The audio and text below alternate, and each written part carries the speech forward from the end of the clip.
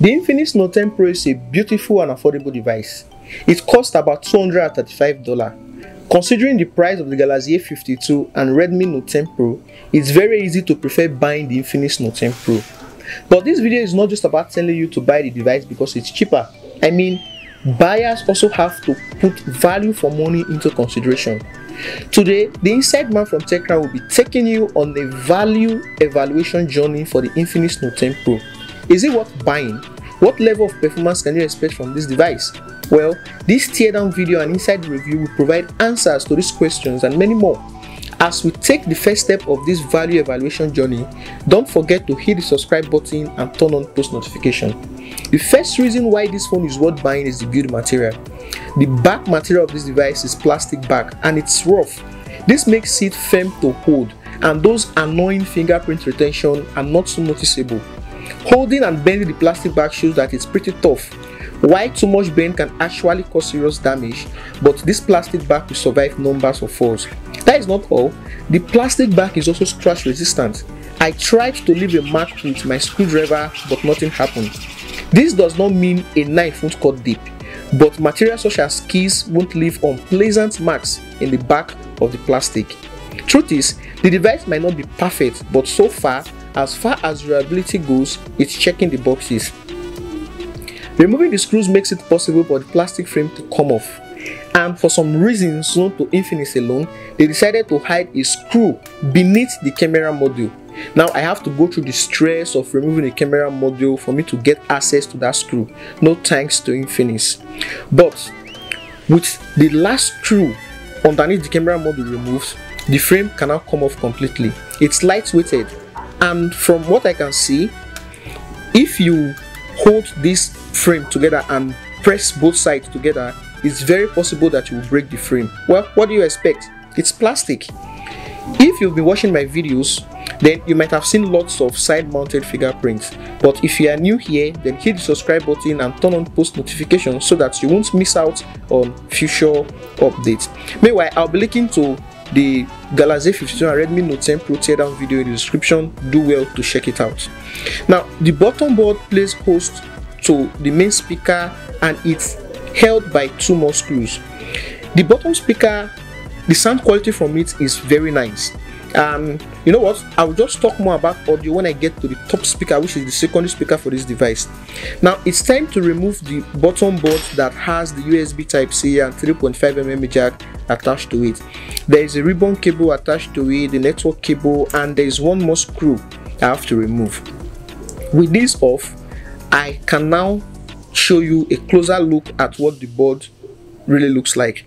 Although there's a water indicator, this phone is nowhere near being water resistant. I think it should have come with a warning, keep away from water.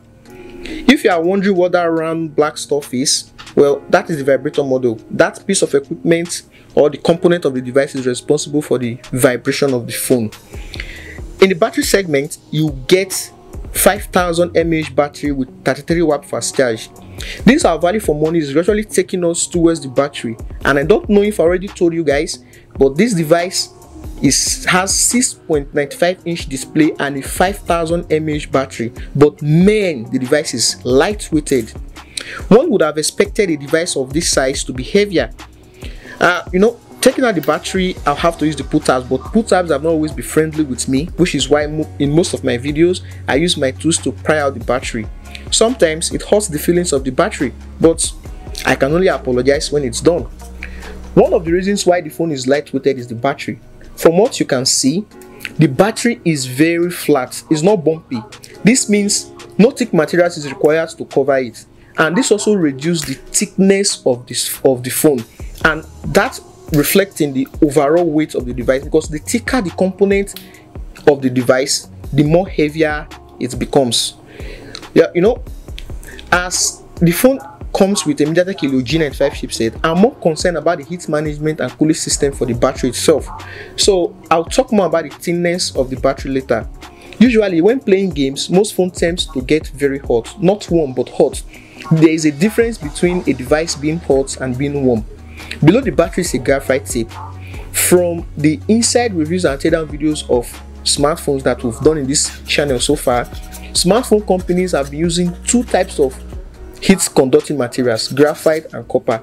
Copper is the better heat conductor, but graphite is not bad either. So having a graphite beneath the battery is okay.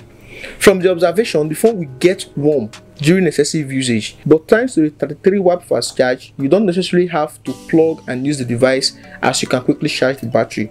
Now that we know that the battery has good heat management, let's our attention to the materials at the top board. As expected, the chipset is resting on a thermal paste. Pink, they say, is the ladies' color. Maybe this phone is designed for ladies. Just kidding. This phone is for me and female. Having thermal paste is good, but I wish the processor had come with a copper at the top. It would have made complete sense. In the camera segment, the 64 megapixel camera is nice. It does not have OIS, but it can take good photos both in daytime and nighttime. Other cameras at the back include 8 megapixel ultra wide, 2 megapixel depth sensor, 2 megapixel macro. Up front is 16 megapixel selfie camera and it's pretty nice too. The camera of this phone can record 4K video and if you are a vlogger, you'll find it very useful. You also get features such as steady video modes, portrait, etc. when using the camera. Using the gaming Helio G95 chipset is a nice one. From the Geekbench test, the Helio G95 is better than the Snapdragon 720 used in the Galaxy A52. At the top is the secondary speaker of this device. As far as sound quality goes, you can't complain.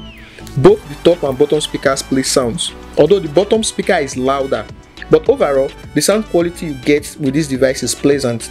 This is what the inside of the Infinix Note 10 Pro looks like, with one more important component missing, the Infinix S Pen. I think reducing the battery width a little would have made it possible for the device to accommodate the S Pen. Or maybe adding one more inch to the width of the device would have made this possible too. And man, it would have completely completed the phone. I mean, a note is not really a note without its pen, right? It's been more than 4 years since we last saw an Infinix phone that has an S Pen. Maybe you guys should start the bring back S Pen hashtag on Twitter. Who knows, Infinix might bring it back. The value evaluation journey is gradually coming to an end, but let's do a quick recap of the journey to help your purchase decision. Most phones in same category with Infinix Note 10 Pro are at least $30 more expensive, but this device managed to offer better build material, nice display with 90 Hz refresh rate, good battery cooling system, a 33 watt fast charge, a powerful MediaTek Helio G chipset with good cameras including nice night mode features. If you ask me, I'd say the Infinix Note 10 Pro offers good value for money. The possible downside is that Infinix is not promising any software updates. This means you are likely stuck with Android 11 forever. Everything else about this device is good to go. Alright guys, that is it for the teardown video of the Infinix Note 10 Pro and inside review. I hope it will help you make a better purchase. If you are looking for the best budget phone to buy right now, this is definitely your choice. And also remember to hit the subscribe button and turn on post notifications if you haven't done so already. It's me, the Inside Man, and I'll see you around in my next one. Bye for now.